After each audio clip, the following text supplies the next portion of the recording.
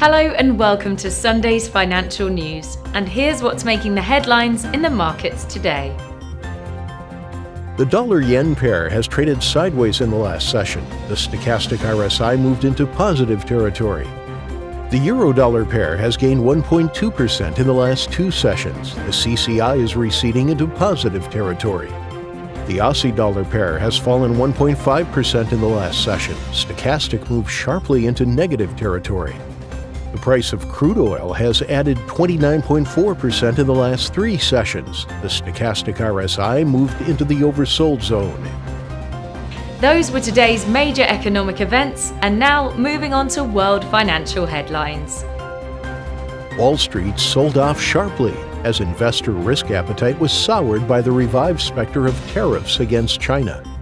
The Japanese yen may rise if a tidal wave of credit downgrades in the loan obligation and leveraged loan market put a premium on anti risk assets. Crude oil prices are slowly recovering from April's shocking lows as risk appetite cools across global financial markets. And now let's hear what our chief analyst picked up for us today.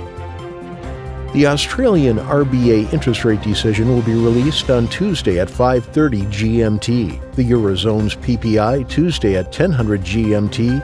The German factory orders Wednesday at 700 GMT. The Australian exports Thursday at 2:30 GMT, the Swiss unemployment rate Friday at 6:45 GMT, and the US non-farm payrolls Friday at 13:30 GMT. We hope that you've enjoyed Sunday's market outlook and will tune in tomorrow morning for the latest events in the market.